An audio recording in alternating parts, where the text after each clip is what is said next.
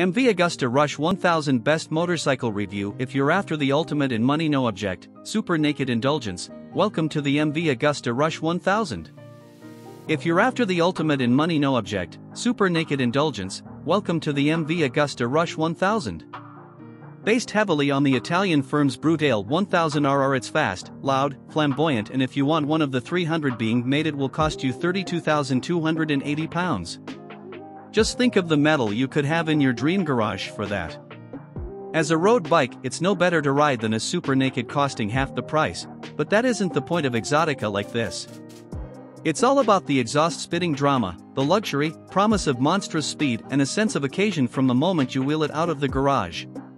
It does all those things beautifully, but best of all, it also rides like a proper, well sorted motorcycle that's as happy to cruise as it is to tear up a back road.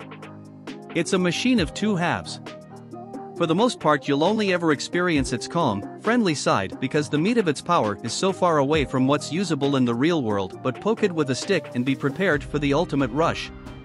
Ride quality and brakes. With its stiff tubular steel trellis frame, single-sided swing arm and electronic Öhlins suspension the Rush 1000 uses the same rolling chassis as the Brutale 1000RR.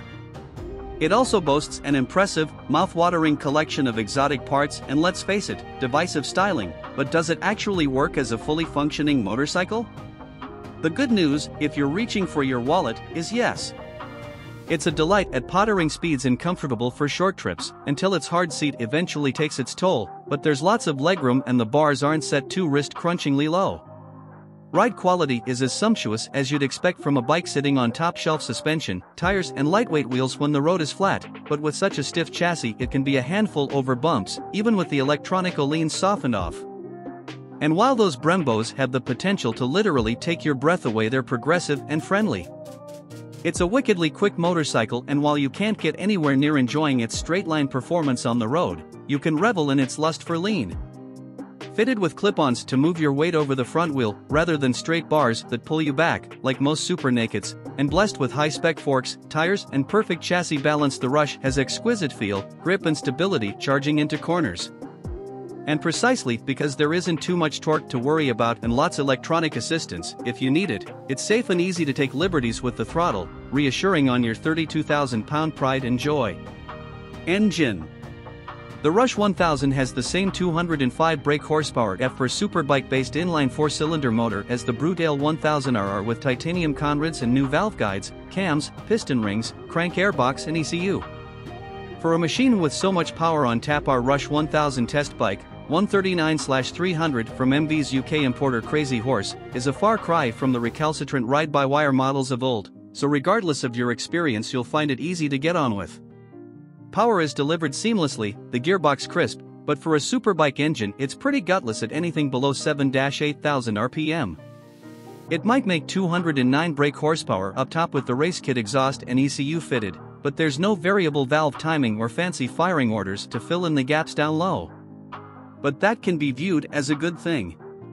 The Rush 1000 never intimidates or scrabbles for grip and even when you're going slow the exhaust, quickshifter and auto blipper are still music to the ears, making all the right pops, bangs and crackles. It only does 31 miles per gallon, not that most owners will worry at such thirst.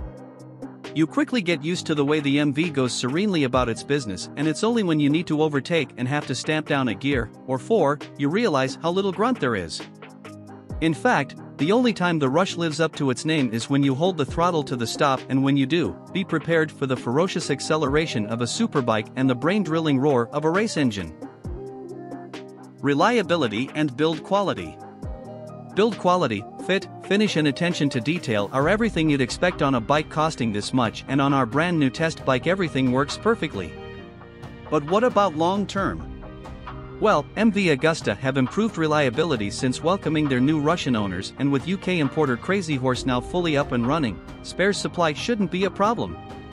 The whole MV range also comes with a 3-year warranty and 2 years roadside assistance. Value versus rivals. Whichever way you slice it the Rush 1000 is eye-wateringly expensive to buy and run. In terms of pure performance, it's no better than its super naked rivals and lacks their real-world grunt, but if you've got this amount to spend on a bike and don't want something run-of-the-mill or mass-produced the MV will scratch your itch.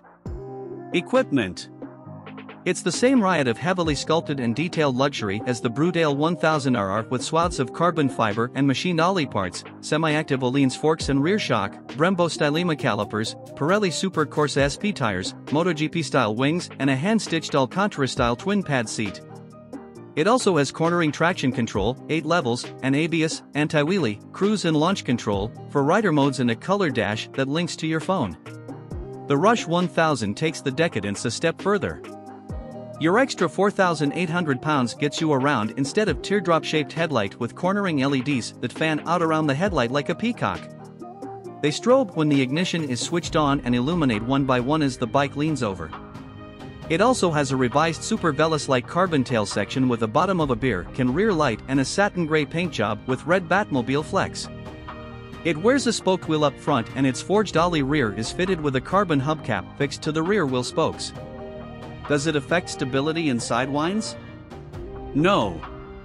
You also get a Race Kit SC Project titanium exhaust and revised fuel mapping, which is a work of art and sounds suitably naughty. The Italian firm also creates the pipes for Marquez's Honda.